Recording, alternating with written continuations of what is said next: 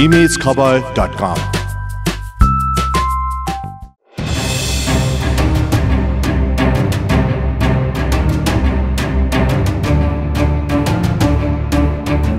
राजधानीका अधिकांश स्थानमा अभिभावकहरू बालबालिका सहित बस चढ्ने क्रममा रहेको देख्न सकिन्छ। अभिभावकसँगै घर जान लागेका बालबालिकाहरूलाई अधिकांशलाई परीक्षा सकिएकाले घर जाने भन्ने लागेको छ भने केहीलाई मात्रै कोरोनाको कारण शैक्षिक संस्था बन्द भएको ज्ञान छ।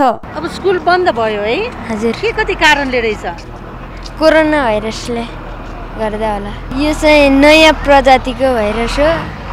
अहिले जुन चाहिँ मानव शरीर मानव जातिमा पहिलोचोटि छ। उपत्यकाको गङ्गबु बस पार्क र अन्य बस पार्कबाट राजधानी बाहिरिने सवारी साधनको चाप भने शैक्षिक संस्था बन्द भएका कारण केही बढेको बस व्यवसायीहरूको भनाइ छ।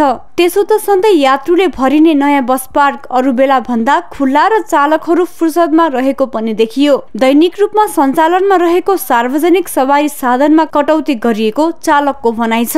बसहरू सञ्चालन छन् तर पेसेन्जर न्यून छन् एकदम। पहिलाको तुलनामा सेभेन्टी फाइभ पर्सेन्ट पेसेन्जर कम भइसक्यो। यो अहिले त यो इक्जामको का यो इक्जाम सकिएर अब उ गरेर अहिले दुई तिन दिनको चाप हो यो। अब यो दुई तिन दिनको चाप सकिएपछि चाहिँ गाडीहरू फिफ्टी पर्सेन्ट गाडी कम भइहाल्छ। विद्यालय एक महिनाका लागि बन्द हुने भएपछि र कोरोनाको सन्तासले पनि आफ्ना सन्तानलाई घर लैजान लागेको अभिभावकहरूको भनाइ छ। अब बच्चाको स्कुल बिदा भयो?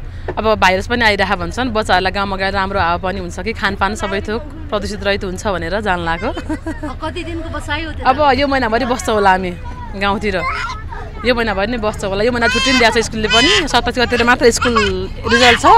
अब रिजल्टमा नभई आउँदैनौँ हामी। त्यही भएर गाउँ जान लाग्यो। शैक्षिक संस्था बन्द भएका कारण घर फर्कनेहरू मात्रै होइन। राजधानीमा अन्य पेसामा रहेका मानिसहरू समेत व्यवसाय शिथिल बनेपछि घर फर्कन थालेका छन्। इमेज समाचारका लागि क्यामेरा पर्सन लक्ष्मण मान डङ्गोलको साथमा ग्रीष्मराज भण्डारीको रिपोर्ट।